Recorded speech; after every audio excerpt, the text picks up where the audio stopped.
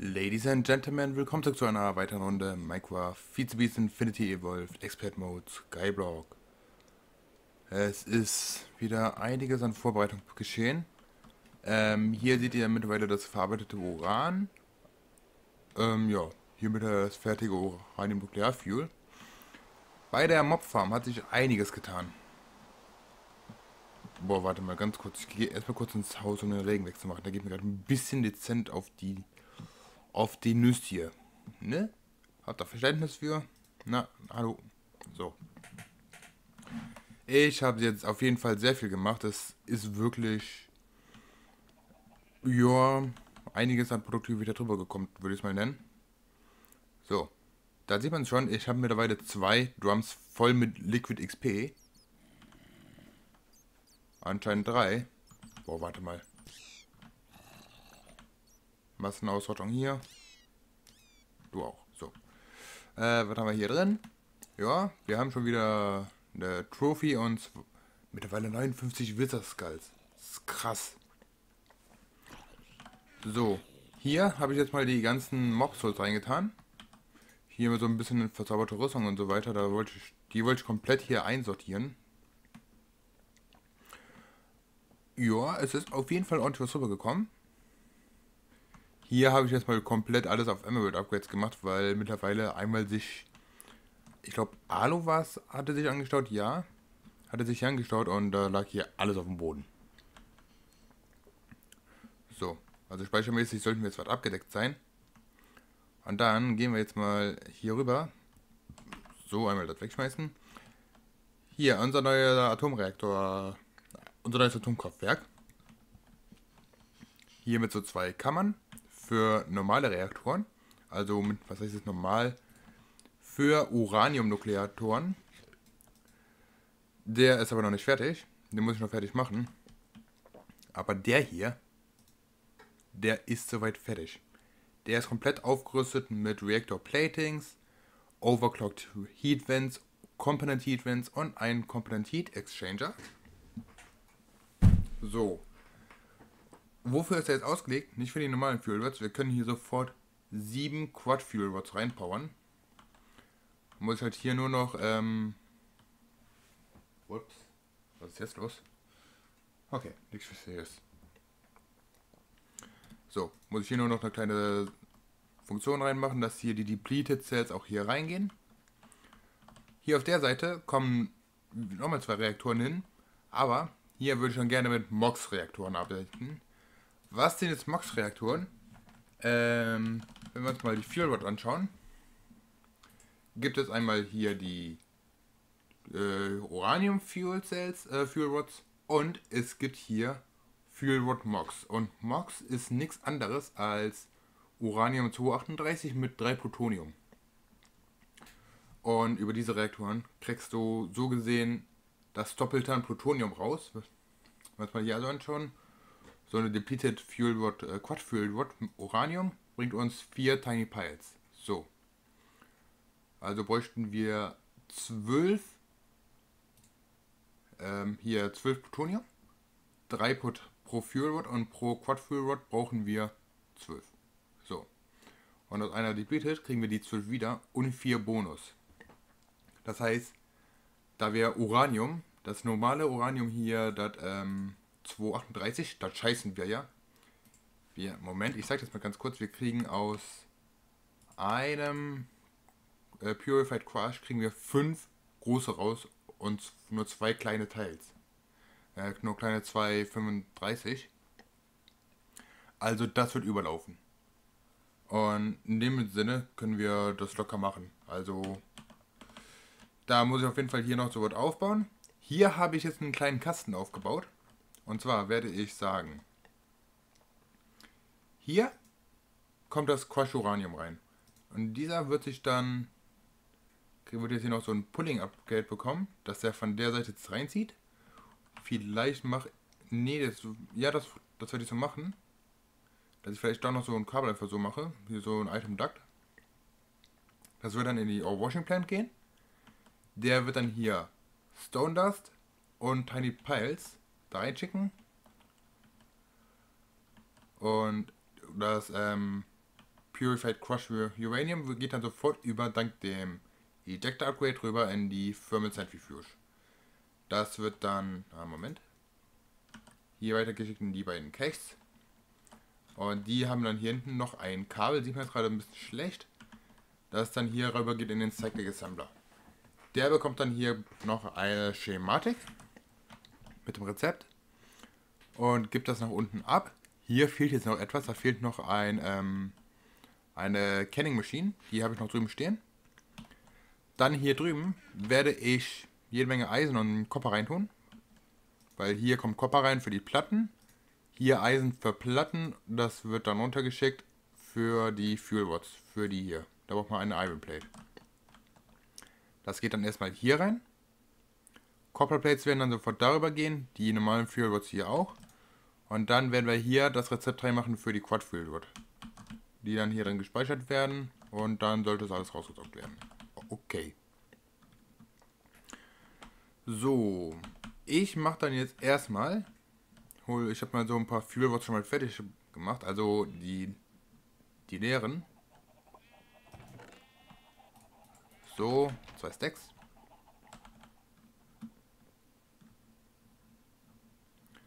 Dann holen wir uns jetzt einmal hier. So. Ah ja, hier habe ich auch nochmal den Fehler gefunden. Und zwar, anscheinend buggt der Electrokinetic Generator mit den L4-Wire-Connectoren von Immersive extrem rum. Deswegen habe ich einfach eine Bedbox zwischengeschaltet und der hat dann jetzt auch Energie. Das heißt, wir können jetzt jederzeit hier anfangen. So, jetzt Rod, Uranium. Und wir bekommen unsere ersten Uranium Fuel Rods. Ja, sehr schön. Nummer 1. Und da kommt schon die Nummer 2. Vier Stück brauchen wir.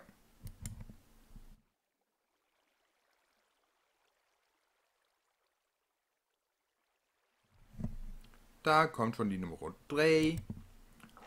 Und zu guter Letzt der Nummer 4. So, hier habe ich auch schon so und war das richtig jetzt? Ich glaube falsch. Genau. War falsch.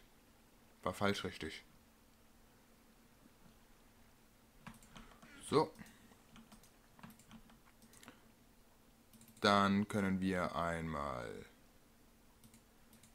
den hier machen. Und können schon mal eine Quad Fuel Rod hier reinschicken.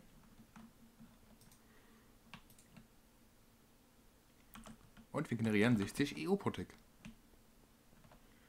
Das heißt, hier sollte sich jetzt langsam alles auffüllen. Jawohl.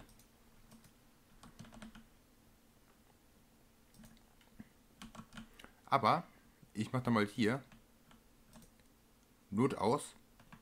Habe ich für beide Seiten gemacht. mit äh, Red Alloy Wire, weil ich will jetzt erstmal hier den Reaktor komplett voll machen. Ja, komm, machen wir mal so und so. Weil ich habe eigentlich gerade keine wirkliche Lust, schon dazu Ganze zu verschwenden. Mach ich mal ganz kurz so. Wir werden auf jeden Fall noch zwei Servos holen. Da ist Nummer 3. So. Ja, komm, da kann mal rein. Wenn ich jetzt mal anschalten würde, sollten wir schon 180 F Tick kriegen. Jawohl. Das Problem ist, das Ganze ist noch ziemliche Verschwendung. Einige könnten jetzt meinen, äh, du hast doch 180 EU pro Tick, aber du kriegst doch nur 128 über die Kabel. Nein, das ist ein Trugschluss, mein lieber Herr. Denn über den Expert Mode oder generell in dieser Version sind, haben die Kabel, die normalen Copper-Kabel, eine unendliche Übertragungsrate und die Maschinen fliegen nicht in die Luft. So, jetzt würde ich einmal ganz gerne. Den brauche ich eigentlich gerade gar nicht mehr. Wo kommen wir hier aus?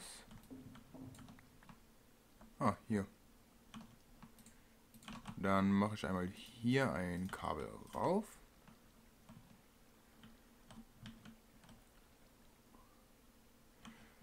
Weil ich wollte auf jeden Fall noch schauen. Können wir das... Nee, nee, nee, nein. Das macht man nicht. Äh, da tue ich jetzt generell mal hier rein. Wir werden auf jeden Fall heute noch eine Energy Cell machen.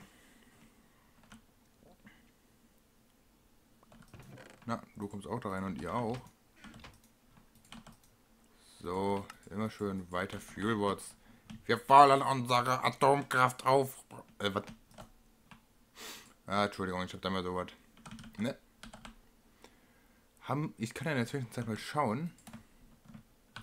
Äh, Servo. Ich bin überlegen, was hat der für eine Extraction Rate? 0,5. Ja gut, dann machen wir das sogar. Dann gönnen wir uns ein paar Ender, also Resonant-Teile. Enderium habe ich ein bisschen was vorbereitet. Äh, Hard Glass. Äh, ja komm, das kann hier erstmal rein.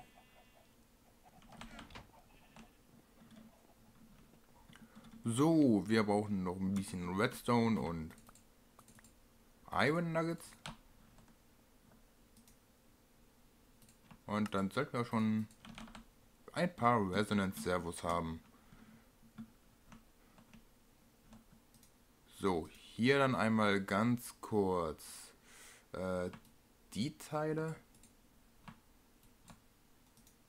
Ah, jetzt geht das nicht.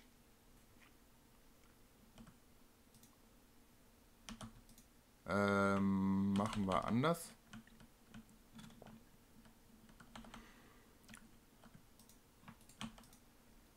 Machen wir erstmal hier Nummer zwei Stück. So. Und dann sagen wir hier die hier Blacklist und Ignore Metadata.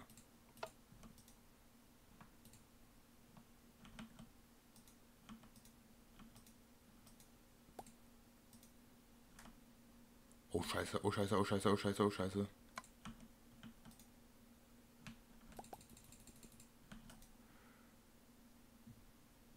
Äh, das hat jetzt gerade perfekt funktioniert.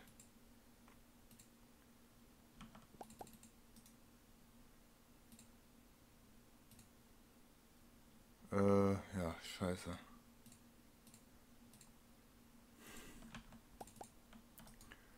Muss ich das doch anders machen?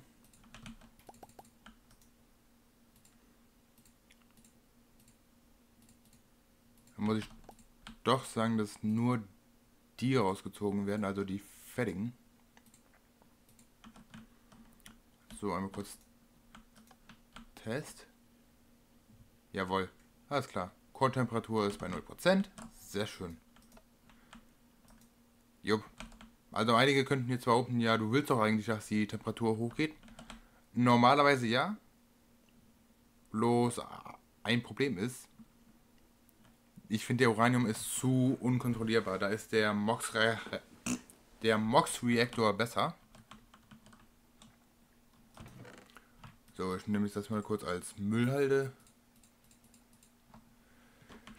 Weil wir haben noch was anderes vor. Ich würde gerne zum Energiespeicher vier MFEs machen. Warum vier Stück? Weil MFEs für einen Energiespeicher von EU am Anfang ziemlich günstig sind.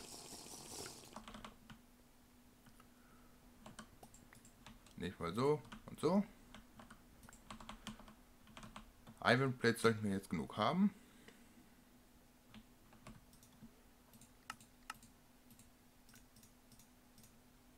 Wie viele kriegen wir da raus?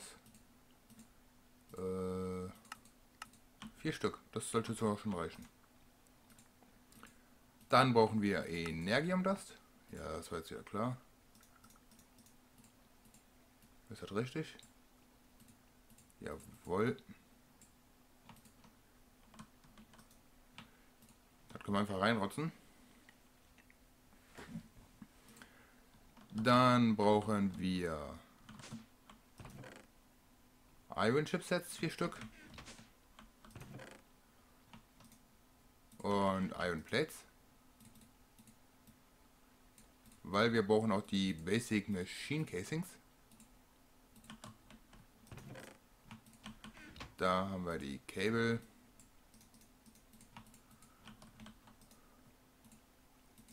So, so, so und so.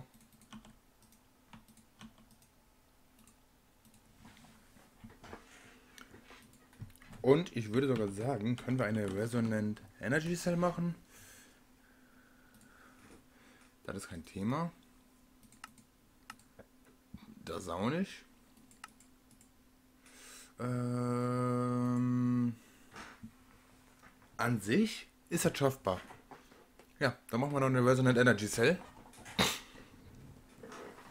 Ah ja, ich bitte auch um zu entschuldigen, wenn ich mal so ein bisschen schniefe. Ich bin momentan so ein bisschen verschnubbert. Wow.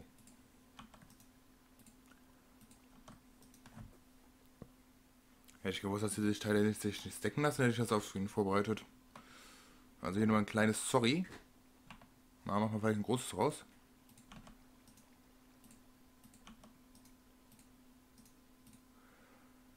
Äh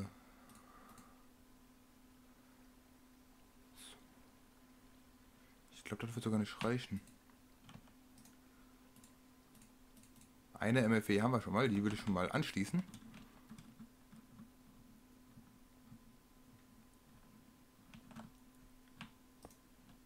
Ja, perfekt. Müssen wir nur noch so umdrehen. Und dann können wir den Reaktor auch einschalten.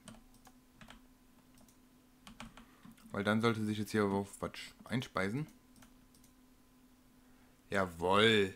Sehr schön.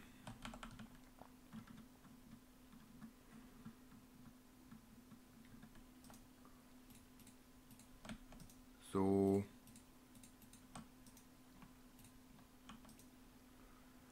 Das läuft auch schon schön weiter. Boah, hätte ich nicht gedacht, dass er so super läuft. Aber ich kann euch sagen, hier die ganzen Heat Exchanger zu craften und so weiter. Das ist ein Krampf. Kann ich mal ganz kurz zeigen. Heat. Also der hier, da braucht man so die Motoren, die meiner Meinung nach scheiße zu craften sind mit den ganzen Copper-Kabeln.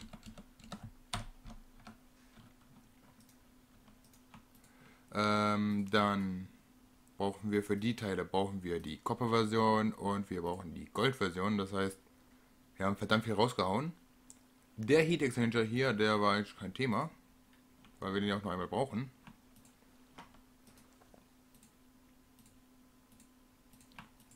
Okay, eine MFE würden wir sogar noch fertig kriegen.